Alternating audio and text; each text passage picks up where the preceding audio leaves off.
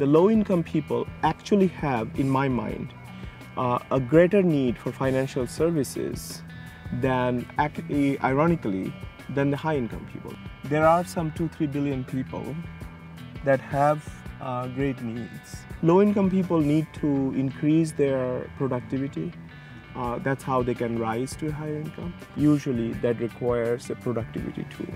And you could imagine um, a sewing machine. Singer sewing machines were sold. That's a productivity tool. Okay. And Singer itself took that initiative to give people the machine and they can pay over time. For these kind of reasons, financial inclusion is important.